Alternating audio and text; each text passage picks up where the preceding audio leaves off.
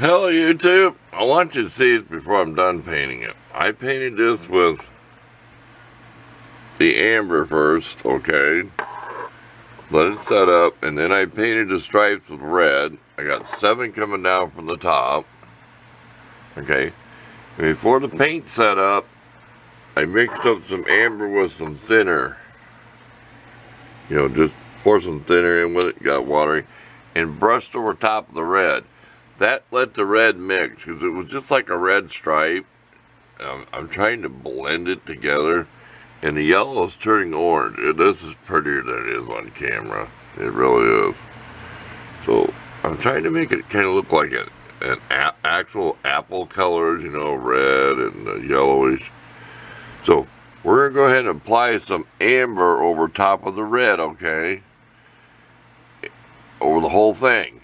The red and this. It's, it's, it's, it's pretty dry. I can, it's probably been about two hours.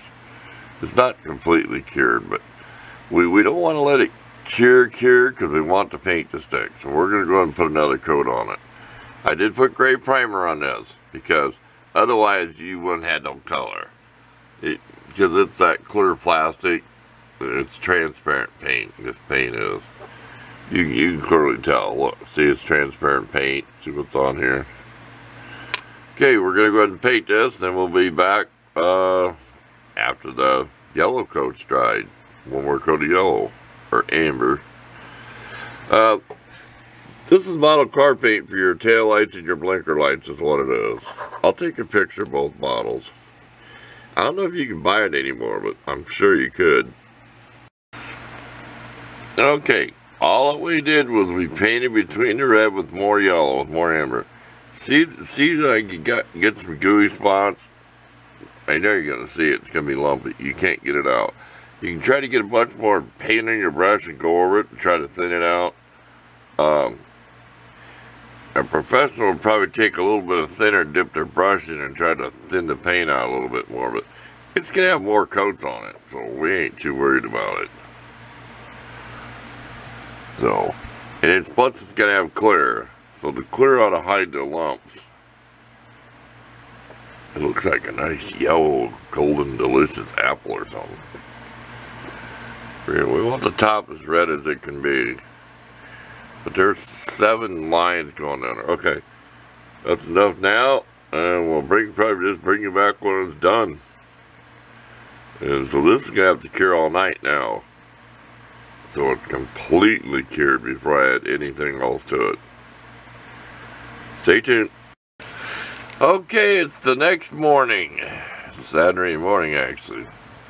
Now, I'm not a professional model builder or painter, but this this is dry, but it's not really cured. If you if you put your finger, never touch with your finger, friends. In fact, if you got hairy fingers, that's the best way to test paint. It, it it's smooth, but if you put your finger against the ring, it feels a little sticky. Now, this is what I do.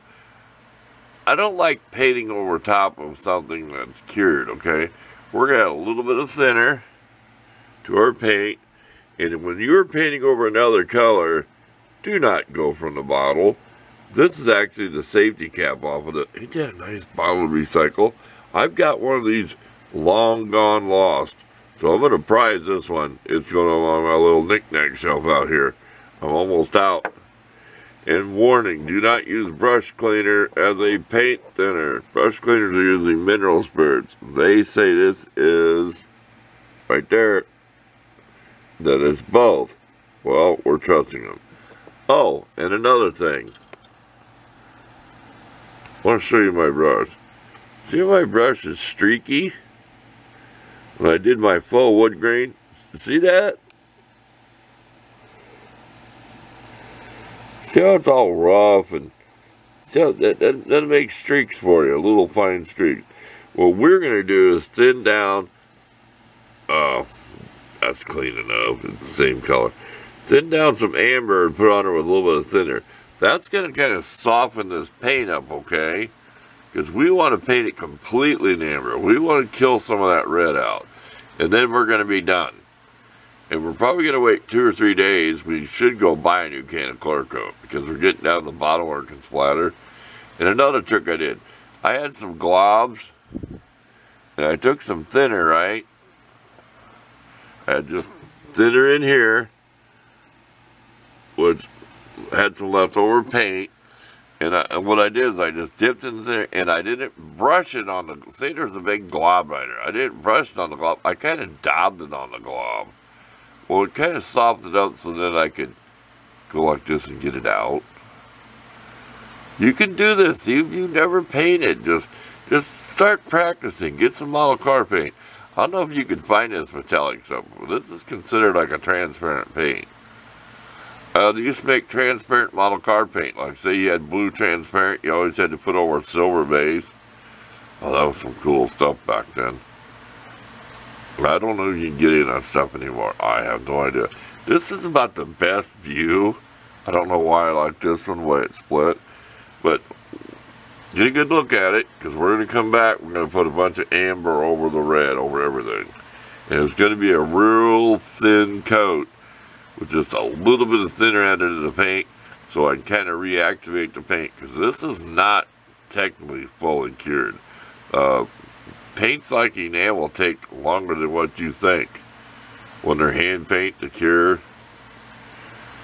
We don't want to lift anything. You know, we don't want to be removing it. But you can still see gray primer in some spots. It looks kind of a black color if I took it out of there. But let's get to work. We'll come back after we put another real thin coat. And then if we think we need a little more, we'll just use straight amber. There's a little glob right there. That should be gone. Spec one's got clear sprayed over it. We plan on putting some pretty good chemical coats of clear on this thing. Because your hand's going to be on it.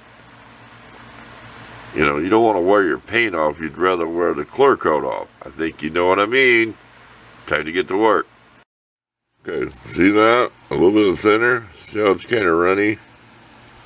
That's what you want. You want it kind of runny. There's just a like one drop of thinner to four drops of paint.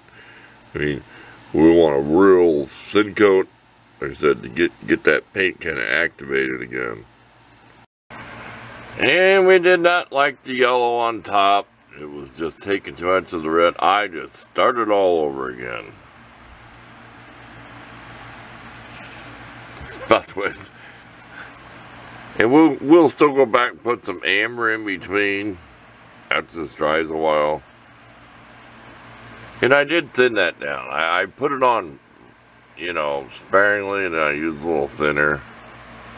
So it's going to take a little while to dry here. I got my fan going. It's probably like 78 degrees in here. Yeah, we just start all over again. We, if we get it out of there, we'd show you. I don't know. When I put the amber, it covered that up too much. I want to see it, and I went down the sides a little bit. And I feathered it.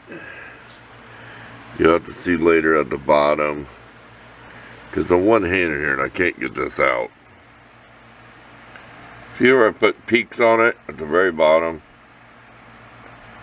Kind of brought it to a peak. Kind of like a pinstriping. Okay, let's take a break. We'll decide whether this video be done or not. Because we'll save the clear coat for another time. It's not going to look that much difference with the clear coat. I just have to go get some. Okay, we put another coat of the amber yellow in there. Should we just start off? One thing about painting like this, you don't like it, start over. We didn't like when we coated that. I don't know if the picture, I'm sure the picture's going to show. I mean, I want that red in there. So and we use thinner.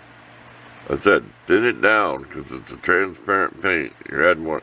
It did kind of give me more metal flake going over that with red, the red over top and the amber.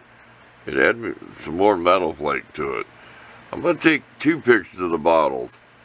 Uh, the label of the bottle what it looks like in the bottle. So, thanks for watching. We're done with this. Uh, we'll show it clear coated someday. It's going to take several days to dry.